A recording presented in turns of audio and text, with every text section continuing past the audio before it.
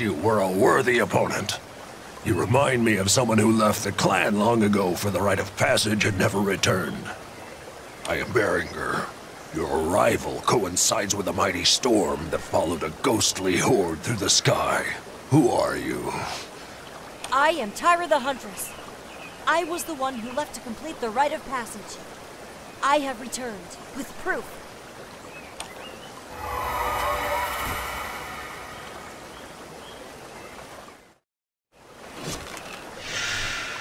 This lock of fur gives truth to your claim.